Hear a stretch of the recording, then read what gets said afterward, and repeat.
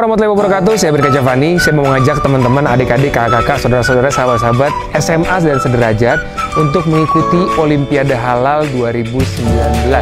Halal is my life.